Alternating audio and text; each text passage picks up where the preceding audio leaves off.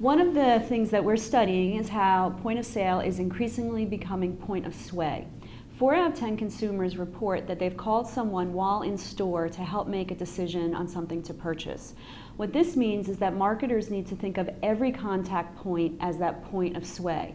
So just as we design products so they pop off the shelf in the store, we have to think about optimizing our website so that we're really giving the user an optimal experience from their smartphone or tablet. Closely related to this trend is the idea that consumers are increasingly platform agnostic.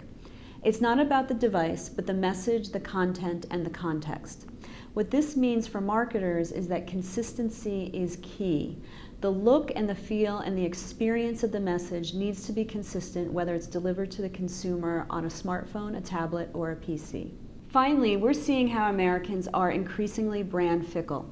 Fewer Americans report that they are buying the brands they grew up with, and 39% of consumers say they buy whichever brands are best for them at that moment. What this means is that we're in a period of constant reevaluation on the part of consumers, and brands need to rethink the old rules of brand loyalty and really focus on innovation that is truly consumer centric.